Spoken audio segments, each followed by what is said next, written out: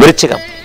விருச்சிக ராசிக்காரர்களுக்கு இந்த வாரம் வந்து ராசிநாதன் ஆகிய செவ்வாய் ஆட்சியானாலும் அவர் ஆறாம் இடத்துல தான் ஆட்சியாகிறார். இந்த ஆறாம் இடம் வந்து ருணம் ரோகம் சத்துரு அப்படின்னு சொல்லக்கூடிய ஒரு கடன் நோய் எதிர்ப்புகளை கொடுக்கக்கூடிய ஒரு இடம். ஆகவே சில மிகச்சில விருச்சிக ராசிக்காரர்களுக்கு ஆரோக்கிய குறைகளும் கடன் தொல்லைகளும் இந்த வாரம் இருக்கும். ஆகவே எதுலேயும் வந்து ஒரு நிதானமாக இருக்க வேண்டியது விருச்சிகராசிக்காரர்களுக்கு அவசியம். விருச்சிகராசிக்காரர்களுக்கு ஏற்கனவே ஏழரை சனி நடந்துகிட்டு இருந்தாலும் அந்த ஏழரை சனி வந்து அதிசார முறையில் கொஞ்சம் விலகிட்டார்.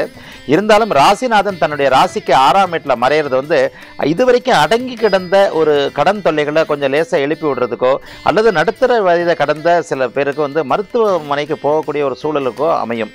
கடன்காரர்களை வந்து நேரில் நம்மளே போய் அவங்க தேடி வர்றதுக்கு முன்னாடி நம்மளே போய் நின்று வந்து கடன் தொல்லைகளுக்கு ஒரு கடன் விஷயங்களுக்கு தவணை வாங்கிக்கிறது ஒரு நல்லது. சின்ன சின்ன ஆரோக்கிய குறைவுகளாக இருந்தாலும் ஒரு பரிசோதனை வந்து அலட்சியம் படுத்தாமல் டாக்டர்கிட்ட உடனடியாக போகிறது வந்து விருச்சிக ராசிக்காரர்களுக்கு இந்த வாரம் நான் சொல்லக்கூடிய மிக மிக முக்கியமான ஒரு பலன். ராசிநாதன் எப்போது ஆறாம் இடத்துல மறைகிறாரோ எதிர்ப்புகளும் கொஞ்சம் வலுவாக இருக்கும்.